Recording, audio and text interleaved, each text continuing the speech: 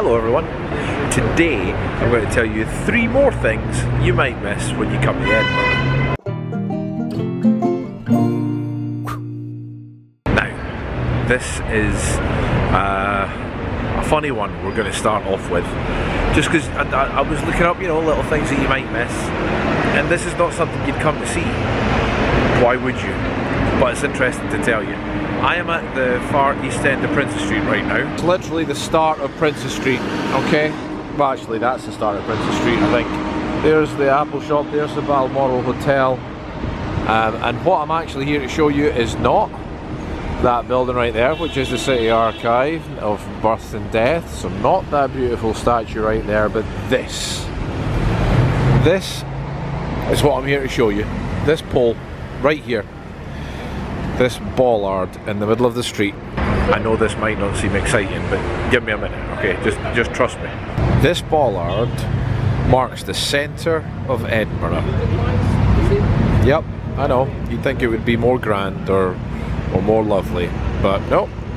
Now, I don't mean it marks the geographical centre of Edinburgh because it doesn't.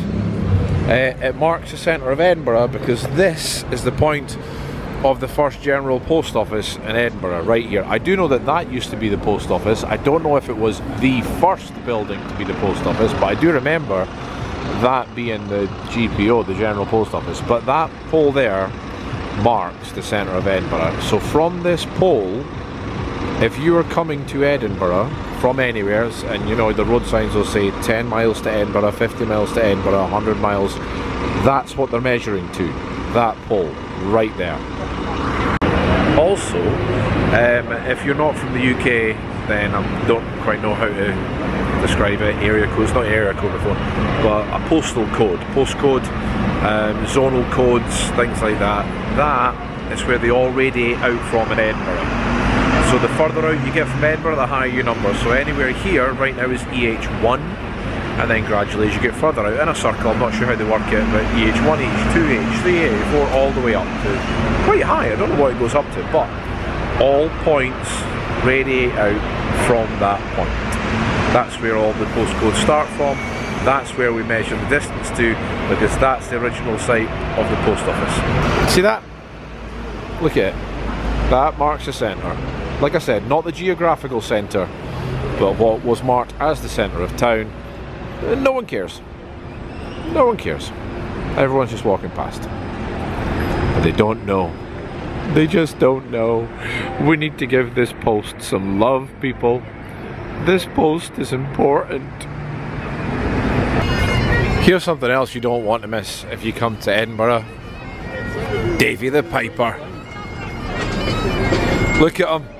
Hard at work, as always piping away, and people are giving him a pound. Yay, that's my favourite person. Gave him a pound.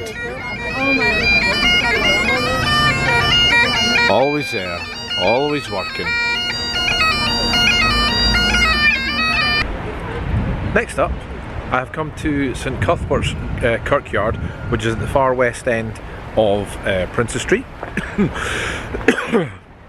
This is the one that's right beside the uh, Ross Fountain that I showed you a few weeks ago.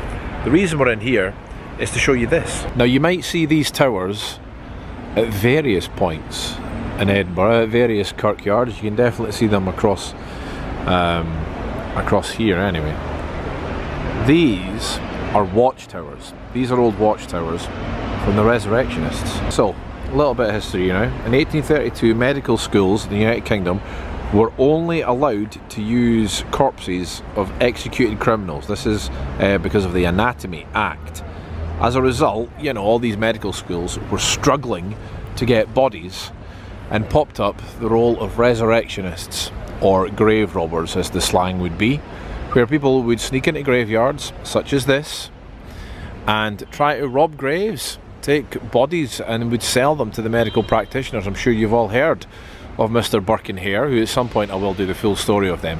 However, the City of Edinburgh tried lots of different ways to stop, and one of the ways that they came up with is these, these watchtowers.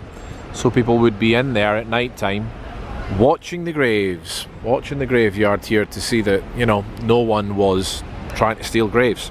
The one downside about this was the um, the fact that a body, a good quality body, would get 10 shillings, which for someone there could be like three, four weeks worth of wages. So it was actually really easy for the people, the resurrectionists, to bribe the watchtower guards to let them come in and steal a body. Um, so as great as the idea was, it didn't always work so well. But you can find these about town a couple of times. So if you're here, make sure you try to keep an eye out for the watchtowers. There's something always very beautiful and solemn of a graves, graveyard as well, don't you think? It's quite a calm, serene place. And we're right beside Princes Street. Princes Street is right there, literally right there. Princes Street Gardens is right there. Edinburgh Castle is right there. Literally, if it wasn't for the trees and a building or two, you would see them in all their glory. But still, nice and calm. Kind of flying through these stories today, but again, these are just three little things that if you're wandering about with your friends, these are cool little stories to tell people, don't you think? Oh, you know what that is? That's because the resurrectionists. You know what that is that no one's looking at? That's the centre of Edinburgh. One more thing to show you, and we've got to head up to the Royal Mile. Just an extra bit. Whilst we're walking, that's in, that's the kirkyard where we've just been. This here is the car park from Trainspotting 2, where uh, Renton and Begbie, you know, have their bit kerfuffle. But look at that.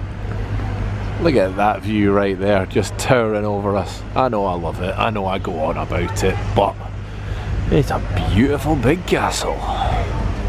So, for the last thing you might miss, we're going to revisit somewhere we've been already. Everyone remember this? John Knox House?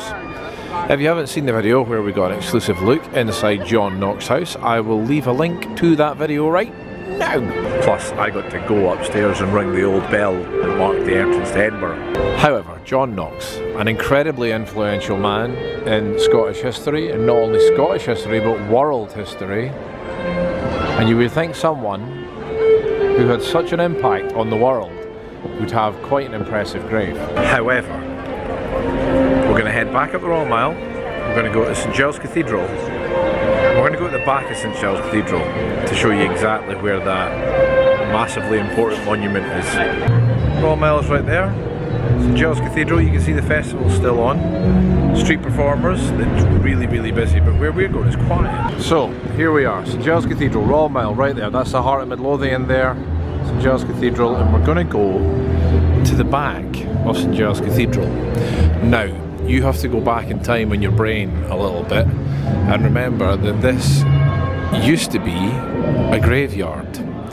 Many, many, many, many moons ago, this was a graveyard beside St Giles Cathedral as the bells chime. So we're at the back end of it and we're going to a spot on the ground.